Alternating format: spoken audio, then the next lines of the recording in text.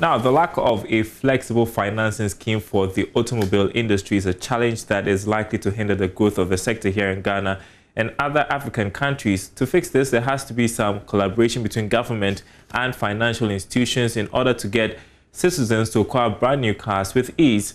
Now, according to Chief Executive of the Africa Association of Automotive Manufacturers, Dave Coffey, the situation demands more critical policies in order to move away from the over-importation of second-hand vehicles?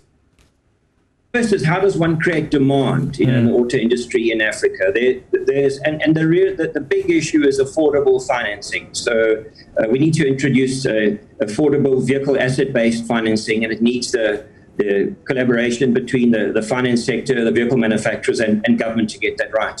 The, the, the next the next issue is is uh, second-hand vehicles. Mm. So there's you know, there's more than 80% of vehicles in Africa sold are second-hand vehicles, and not all those vehicles are safe. And it's very important to, to ensure that vehicles coming into Africa are roadworthy.